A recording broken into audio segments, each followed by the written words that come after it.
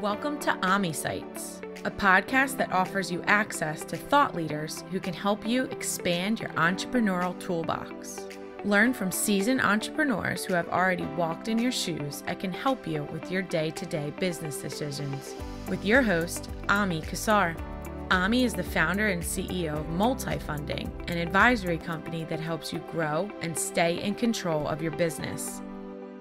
Yeah, so we help founders go from founder revenue to scalable revenue.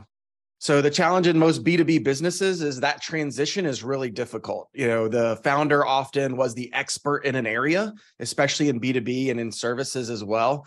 You know, the founder was an expert in one area, so they decided to start a company doing that and then they grew through success and then at some point they tried and figure out like how do i make this transition where everybody's coming to me and wants my expertise to a sales and marketing team driving revenue so we focus on helping founders through that journey and there's lots of aspects of that journey but we we focus in a couple different areas that helps them you know make that transition Thanks for joining us today on AmiSights with your host, Ami Kassar, the foremost SBA thought leader.